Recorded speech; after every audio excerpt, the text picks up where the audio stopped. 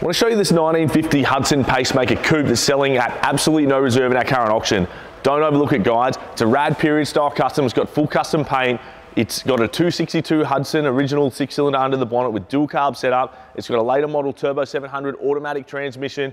In the rear, it's got four Lincoln coilovers. It's a really rad period custom. Click the link in the bio for more information.